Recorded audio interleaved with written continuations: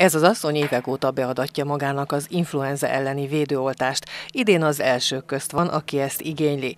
Minél hamarabb elmegyünk a házi orvoshoz, és kérjük a vakcinát, annál biztosabb lesz, hogy nem kapjuk meg az idei fertőzést, mondja dr. Princ János háziorvos, szakfőorvos. Akkor érdemes ezt beadatni, amikor még nem indult el a járvány. Egy ilyen 10-14 nap kell, hogy kialakuljon a védettség a szervezetben. Hát most még jellemzően azért nem terjed annyira az influenza, egy-két sporadikus eset eset fordul csak elő, tehát még nyugodtan bárki beadhatja magának, és ez erre a szezonra biztosan védettséget fog nyújtani. Jövő hét végéig marad a kellemes őszi idő, mégis egyre többen szenvednek torokfájástól és nyúlnak zsebkendő után. Egyre gyakoribbak a megfázásos náthás megbetegedések, és heteken belül már az influenzával is számolhatunk.